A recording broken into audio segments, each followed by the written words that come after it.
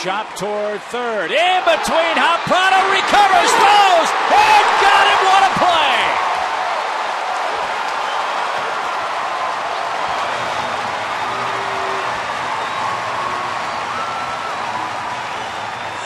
Oh, that was scary.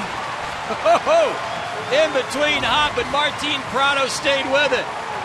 If he doesn't, it's a tie game. Came off the heel of his glove, but he kept running and it was right in front of him and made a good enough throw for Kotchman to get the out. Oh, what a break. And a good stretch by Casey. Wow, what a game. The last one